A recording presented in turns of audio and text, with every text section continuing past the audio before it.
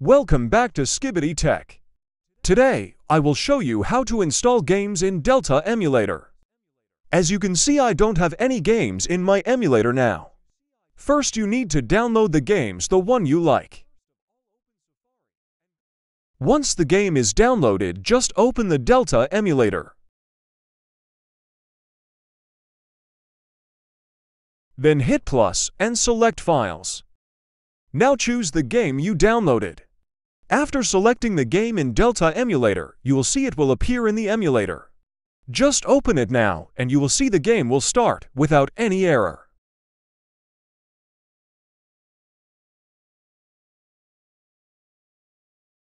Like this way you can install and play any game.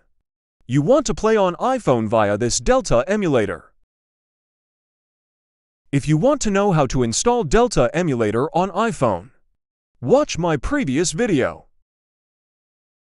Thanks for watching. Hope you liked the video. Don't forget to subscribe.